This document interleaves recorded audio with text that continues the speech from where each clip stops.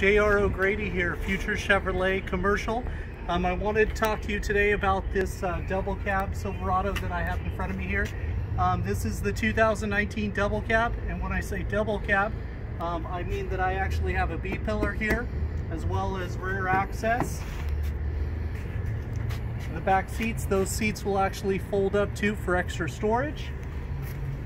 Up front, it's set up for three passengers up front, so this is a true six passenger vehicle. It also has all the amenities that Chevrolet comes with now. You have standard um, OnStar with 4G LTE Wi-Fi. You have um, Apple CarPlay, Android Auto built into every single one of the trucks that we offer. So you have Bluetooth, the whole works. You also have power windows, power locks, power mirror, and an integrated trailer brake controller built in this vehicle as well. Um, underneath the hood,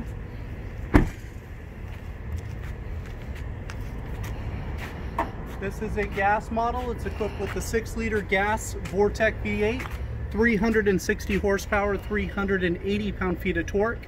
Um, also has the AC Delco battery that is good for five years, 100,000 miles.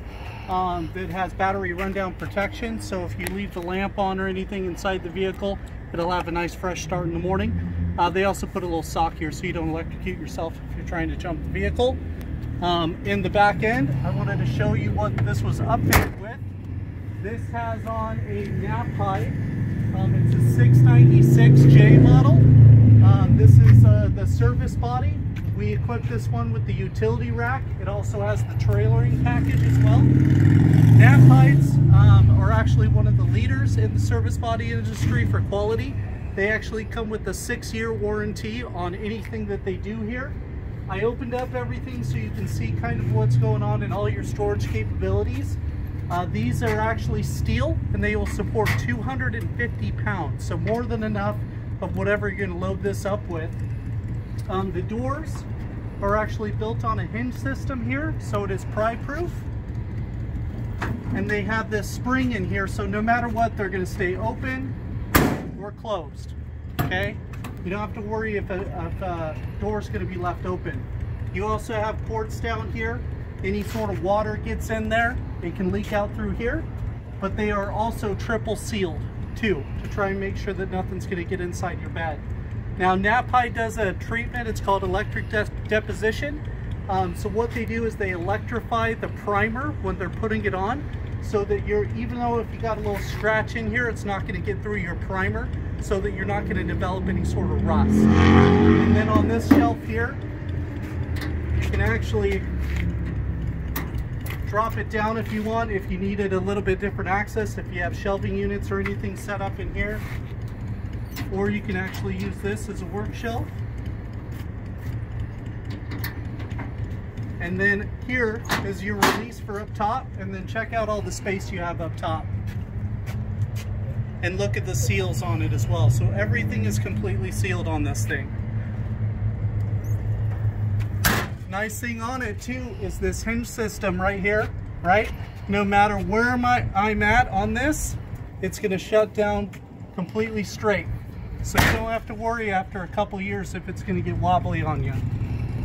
The Knapheides also have LED lights on the back end here. Um, and then they've also got a nice guard here so that nothing's gonna mess with your lamp. And then they're also equipped with these slider locks and I'll show you kind of how they work.